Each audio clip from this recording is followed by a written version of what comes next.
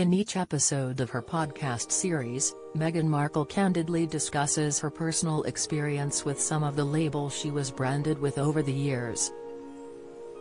Speaking on Sky News Australia, contributor Megyn Kelly told the Duchess to have some perspective as she slammed the 41-year-old for word policing.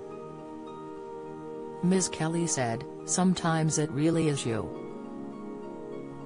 You know the thing that really irritates me about her whole podcast is every week we get to dissect another word that you are not allowed to say.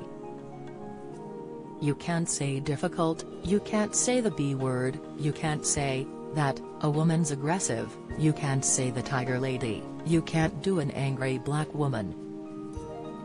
Well, you know what, sometimes women of all shapes, sizes, colors, whatever, it is not necessarily an archetype. Prince Harry and Meghan named as more influential than King Charles as the crown debuts she added, look what's happening in our countries, over here people can't buy turkeys, they are too expensive, we have got record inflation and she wants to run around word policing everybody, have some perspective, Ms. Kelly describes Meghan as the least self-aware person that she has ever had the misfortune to encounter in public life. Each week, Meghan is joined by a new female guest to explore and subvert the labels that try to hold women back. Guests have, so far, included singer Mariah Carey, tennis professional Serena Williams and American socialite Paris Hilton. Fergie told not to share pictures of Andrew with Queen's dogs to protect her reputation speaking in defense of Meghan, Amanda Matta, also known as at Matta underscore of underscore fact on TikTok and Instagram, praised the Duchess of Sussex on a recent episode of the podcast series, Royally Obsessed. Ms. Matta claimed that the Duchess has used the platform to remind us that she is a person.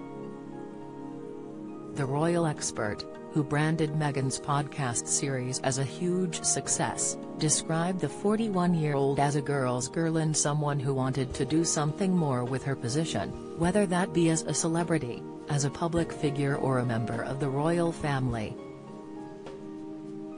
Meghan married Prince Harry in 2018, making her an official member of the royal family.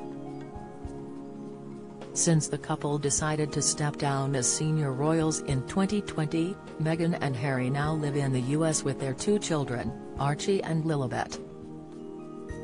Read next King Charles to host first state visit as Kate and William step up for palace banquet. Fergie told not to share pictures of Andrew with Queen's dogs to protect her reputation. William hits back after has attacked for England World Cup support as Prince of Wales Queen's favourite grandson. Peter Phillips swiftly modernised royal protocol. Mike Tindall laid bare hilarious encounter with Princess Anne on I'm a Celeb.